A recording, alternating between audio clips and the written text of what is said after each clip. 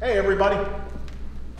We're in the Oval Office here and been doing some work on State of the Union. I'm going to be giving the State of the Union next week, but as you may know, uh, I've been going around the country starting to preview some of the things that uh, I think are really going to be important for us to make sure that we are growing this economy and that it works for everybody. And one of the things that I'm going to make an early announcement about this week is the issue of getting faster broadband. I want to take a look at something that I've got here on my iPad. Uh, this is internet download speeds by city. I can zoom up if you want so you can see the names there. So you've got Seoul, South Korea, Hong Kong, Tokyo, Paris. These cities all have really fast access to the internet because they've made the investments in broadband. Now, here's what's interesting.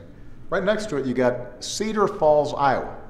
Now, Cedar Falls isn't a really big place. You only got 40,000 people in, in, Cedar Falls. But the reason they can compete with these other world cities is because citizens got together and made the investment to bring competition in and make sure that internet speeds were just as fast there as anywhere else. We've got some other cities like Kansas City and Chattanooga, Tennessee that are doing uh, similar things. And that gives them a huge competitive advantage. It means a business can come in and locate there knowing that they can hook into world markets, products, services, anywhere around the globe. Now, so I'm going to be going to Cedar Falls to highlight this.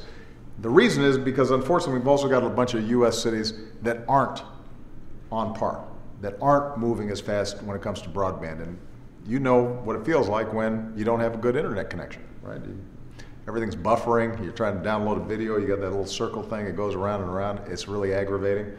But that may mean money if you're trying uh, to do a business deal, or you may lose a customer if they're not able to see you respond quickly. If you're a student and you're trying to study for an exam and you're supposed to download some information and it doesn't come, that's a problem for you. So there are real world consequences to this, and it makes us less economically competitive. Now, the good news is that there are some steps we can take through executive actions that allow us to make sure that every community can do what Cedar Falls is doing.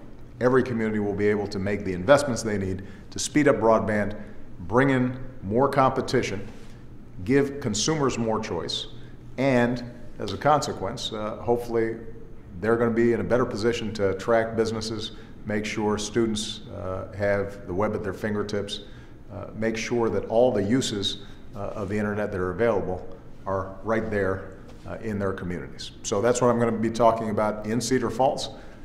You want to tune into this uh, because obviously it affects your lives and it's just one more part of this overall strategy that we've got, building on the progress we've already made to make sure now that that progress reaches every person who's willing to work hard Uh, and trying to make it here in America.